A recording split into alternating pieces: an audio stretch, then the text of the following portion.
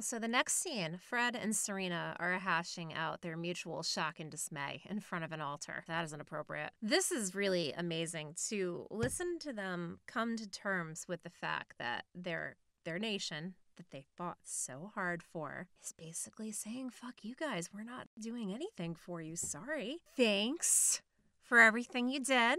Appreciate it. Good luck with that, baby. We'll take it anytime. And they just can't even believe that they are being treated this way. And I am just kind of giddy and delightful over it because I think it's perfect. I feel like Serena 100% understands that Gilead is full of disappointment. It is Fred who is like, wait, what? This is bad for me? Like, he's always benefited. And Serena, her responses are so funny because it's like the placation of what she should say, but there's no emotion in it. She's just barely even listening to him. She's like, all right, let me let you catch up, have your moment where this is so shocking and unbelievable to you while I sit here with no finger. But once we're on the same page, like, let me remind you that you're kind of fucking screwed here because he is. And he just doesn't even get it as he continues on. And he's like, oh, well, I won't let that happen. And she's like, you don't have any power. And it's because Serena's already figured this out for herself. This is not news to Serena that Gilead has taken away all of her power. And I think my favorite quote is when he says, It's like they erased me, left me here to rot. And it's like, oh, I think Serena can relate, dude completely unsympathetic to the fact that she is also in this presence. Me me me i i i which what a surprise that fred the narcissist is not thinking about anyone else but himself and his own uh and his own uh his own issues.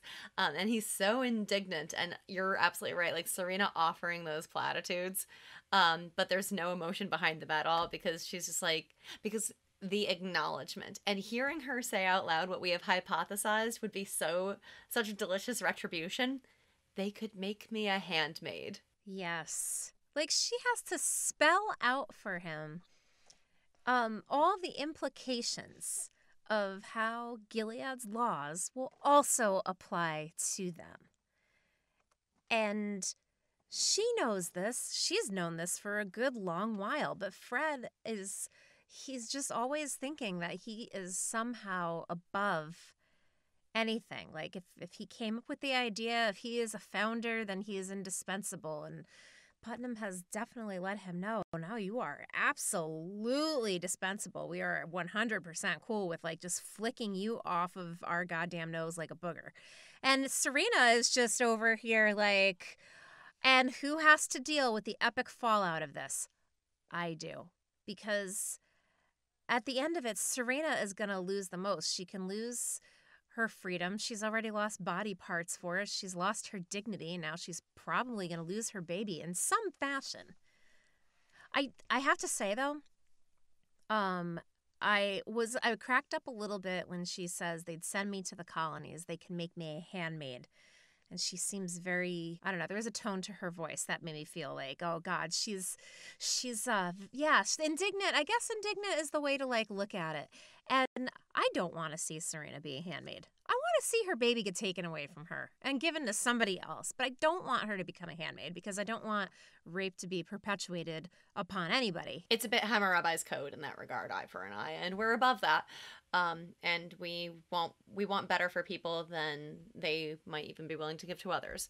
Um, but it is gratifying hearing her acknowledge that in Gilead, that would be that would be well within the means of what could potentially happen. And this is the first time we get to actually see her grappling with the notion of not being able to raise her child.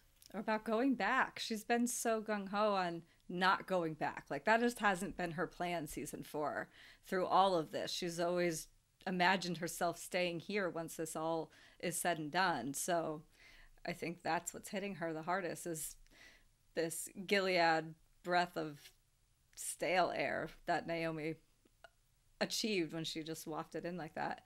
Because Gilead could claim her as property.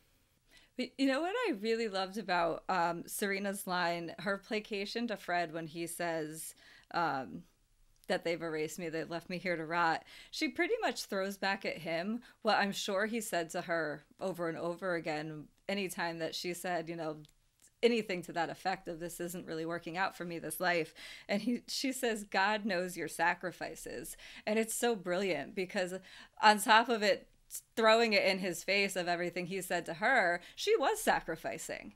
And what has Fred ever sacrificed for anyone other than himself? Like he doesn't sacrifice for God or anyone else. So for her to say God knows your sacrifices, it's like, yeah, it's it's nothing.